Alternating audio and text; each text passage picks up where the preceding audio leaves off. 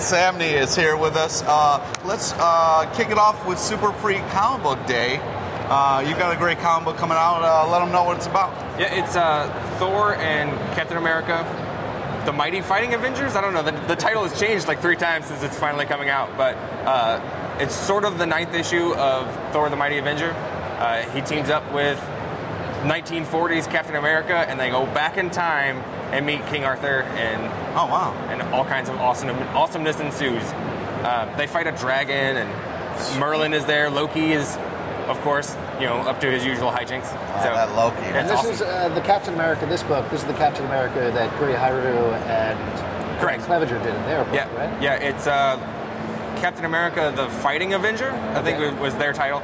Um, and yeah, that's it's sort of the same. It, they do share the same universe, so this is a, our one chance to see them kind of cross over. Oh, nice. Yeah. What is, what is your artistic take on Thor from Thor: The Mighty Avenger?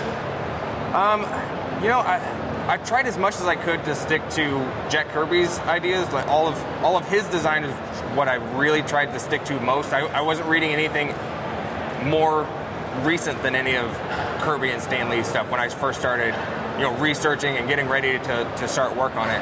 And it was, re- you know, I took all of the Kirby that I could and squeezed in what little style that I have.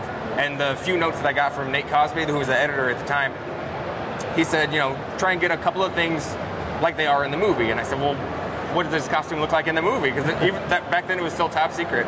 And he gave me a couple of ideas of what it, what it was going to look like. And I, I tossed in everything that I could and made sure that we still had blue pants on there. Roger and I both like the blue pants. Nice. So, and uh, before you know it, he was, you know, a little doe-eyed Thor. He's he's a little, th- you know, he's a little younger, a little slimmer than the the Thor that's in the 616.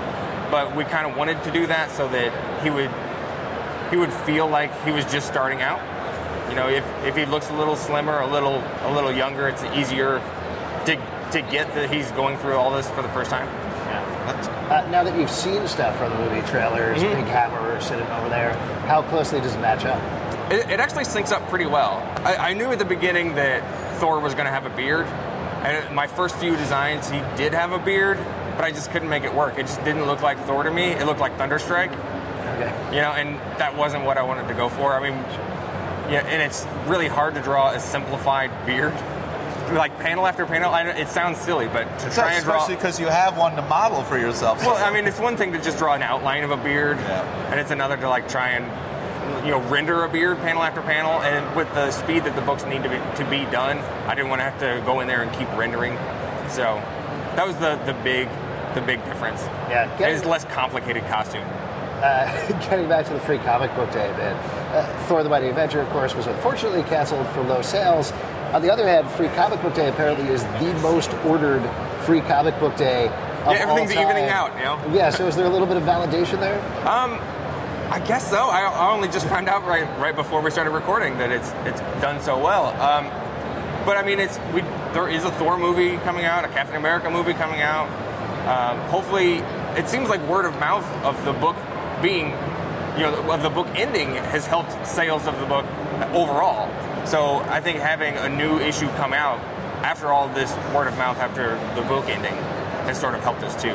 Uh, let's talk about uh, the Captain America stuff uh, that you're working on. Yeah, I'm working on the co-features for issues 617 to 619, written by Ed Brubaker. Um, and it's I know that there was the Nomad that was going along with the book that was written by um, Sean McKeever, and I think that was it was its own. It wasn't a co-feature; it was more of a backup. And what we're doing now is the co-feature is actually seven or eight pages in the back of the book that do tie into the main story of every issue. So it is important that you read the last seven or eight pages of each one because they tie together. So it, it actually fills out that whole arc.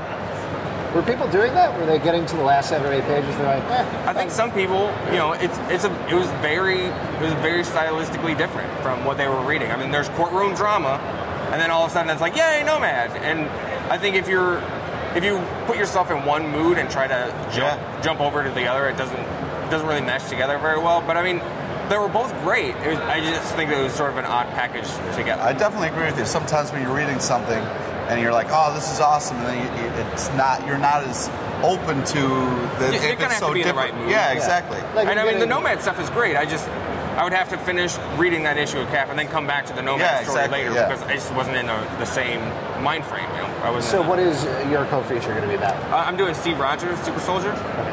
So it's fun. Cap, Cap is awesome.